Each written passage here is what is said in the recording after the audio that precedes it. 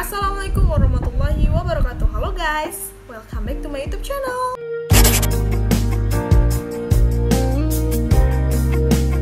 Wait, before you watch this video, please click subscribe, like, and turn on the notification because it can make me happy to make more videos. Thank you!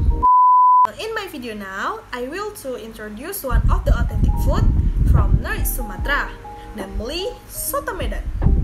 Yup, as you know, Indonesia has various types of soto with their own characteristic. The difference between Soto Medan and other sotos is that the sauce uses coconut milk with a mixture of spices which give it a slightly yellow color.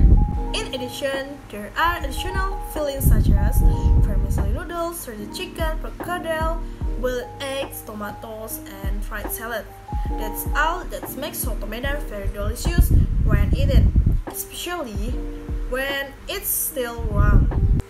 I remembered something. I ate soto Medan for the first time when I was 9 years old and since then I made soto Medan one of the my favorite authentic food. So, if you never tried soto Medan, try it now. The savory and delicious sauce will make you want to eat again. Okay guys, thank you for watching. See you in my next video. Bye bye. Assalamualaikum warahmatullahi wabarakatuh.